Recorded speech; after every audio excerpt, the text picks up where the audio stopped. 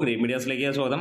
രാഹുൽ സദാശിവൻ സംവിധാനം ചെയ്ത മമ്മൂട്ടി നായകനായി എത്തിയ ഭ്രമയുഗത്തിന്റെ പതിനെട്ടാം ദിവസത്തെ കളക്ഷൻ റിപ്പോർട്ടിലേക്ക് നമുക്ക് കടന്നു വരാം അതിനു മുമ്പ് ചാനൽ ഒന്ന് സബ്സ്ക്രൈബ് ചെയ്തിരുന്ന കാര്യം പരിഗണിക്കണമെന്ന് വിനീതമായി അഭ്യർത്ഥിക്കുന്നു.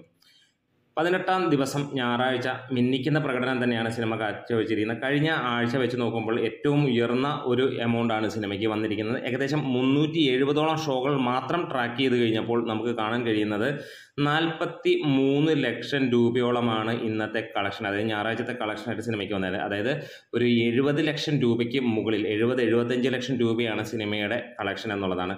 അതായത് ട്രാക്കിങ്ങിൽ നിന്ന് മാത്രമായി കേരള കളക്ഷൻ പതിനേഴ് കോടി എത്തിയിരിക്കുന്നു. അതായത് സിനിമയുടെ കളക്ഷൻ ഏകദേശം ഇരുപത്തി അഞ്ച് കോടി ആ റേഞ്ചിലേക്ക് ഇരുപത്തിനാല് ഇരുപത്തിയഞ്ച് കോടി എന്ന് തന്നെ പറയാം.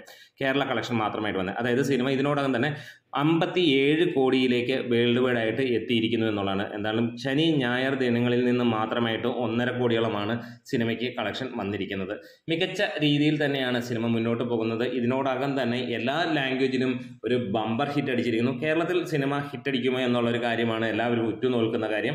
നമുക്കറിയാം സിനിമയുടെ പ്രൊഡക്ഷൻ കോസ്റ്റ് ഇരുപത്തി ഏഴ് കോടിയോളമാണ് എന്നുള്ളത് ഹിറ്റ് അടിക്കണമെങ്കിൽ സിനിമ അത് കവർ ചെയ്തിരിക്കണം എന്നുള്ളതാണ് ആദ്യത്തെ കാര്യം. പക്ഷേ ഇവിടെ കാശിന്റെ കണക്കുകളിൽ മാത്രമാണ് അങ്ങനെ നിൽക്കുന്നതെങ്കിൽ അഭിനയത്തിന്റെ കാര്യത്തിലും പെർഫോമൻസിന്റെ കാര്യത്തിലും ഒപ്പം സിനിമയുടെ ക്വാളിറ്റി വൈസ് നോക്കുമ്പോൾ ഇതൊരു ഇൻഡസ്ട്രി ഹിറ്റ് റേഞ്ചിലേക്ക് നിൽക്കുന്ന സിനിമ തന്നെയാണ്. കാരണം മലയാള സിനിമ കാലങ്ങളെ കൊതിക്കുന്ന ഒരു സിനിമ തന്നെയാണ് ഈ ഒരു സിനിമ എന്നുള്ളതാണ്. അതായത് മമ്മൂട്ടിയെ പോലെ ഉള്ള ഒരു താരം അല്ലെങ്കിൽ മുൻനിര താരങ്ങളിൽ നിന്ന് എന്ത് ജനങ്ങൾ എക്സ്പെക്ട് ചെയ്യുന്നു? അക്ഷരാർത്ഥത്തിൽ അത് ലഭിക്കുന്ന ഒരു കാര്യമാണ് ഈ സിനിമയിൽ ലഭിച്ചത്. സാധാരണ സിനിമകൾ വന്ന് ആ ഒരു സമയത്ത് നമ്മൾ കൊള്ളാമെന്ന് പറഞ്ഞു പോകും. ഇത് തന്നെയാണ് കഴിഞ്ഞ കുറേ വർഷങ്ങളായി മലയാള സിനിമയിൽ സംഭവിച്ചിട്ടുള്ളത്. മുൻനിര താരങ്ങളിൽ നിന്ന് തന്നെ. ഒരുപക്ഷെ നൂറ് കോടിയും ഇരുന്നൂറ് കോടിയും വന്ന സിനിമകളൊക്കെ ഇന്ന് നോക്കുമ്പോൾ നമുക്ക് അയ്യേ എന്ന് തോന്നുന്ന ഒരു കാര്യം തന്നെയാണ്. പക്ഷേ ഈ ഒരു സിനിമയെ സംബന്ധിച്ചിടത്തോളം നമുക്ക് ഒരിക്കലും അങ്ങനെ തോന്നില്ല എന്നുള്ളതാണ്.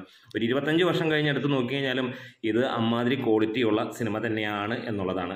എന്താണ് ഭ്രമയോഗം മിന്നിച്ചുകൊണ്ടിരിക്കുന്നു. ഈ പതിനെട്ടാം ദിവസവും വമ്പൻ സിനിമകൾക്കൊപ്പം തന്നെ നിന്ന് തലയുയർത്തി പിടിച്ച് രീതിയിൽ പോകുന്ന ഒരു ബ്ലാക്ക് ആൻഡ് വൈറ്റ് ചിത്രമായി മാറുന്നു. നമ്മുടെ വീഡിയോസ് ഇഷ്ടമെങ്കിലും സപ്പോർട്ട് ചെയ്തണം ഗ്രേ മീഡിയാസ്